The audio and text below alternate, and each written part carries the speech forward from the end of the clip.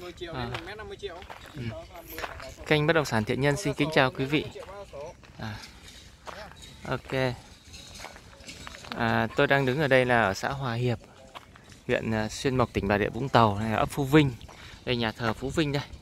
Đấy, cách tỉnh lộ 329 à, mấy trăm mét thôi, rất là gần.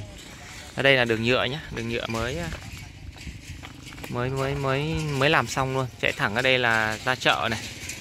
Đấy.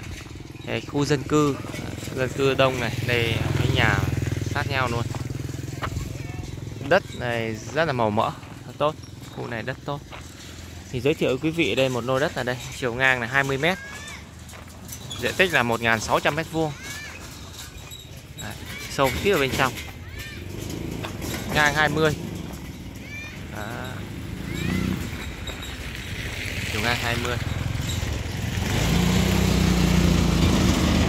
Ấp Phú Vinh ngay gần tỉnh lộ 329 cách tỉnh lộ 329 vài trăm mét thôi. Cái à, nhà thờ ấp Phú Vinh nó nằm nằm trên mặt tiền đường tỉnh lộ 329. Đấy, mình đây mình nhìn thấy cái đoạn. Ok.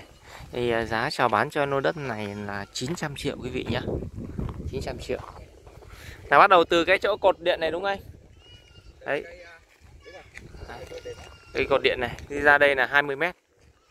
Đúng không? Rồi, đang để đất trống thôi. Mấy cây điều mà. Không vấn đề gì. À. Đất để hoang hóa này. Còn đây Đây là đường nhựa người ta mới làm xong quý vị nhé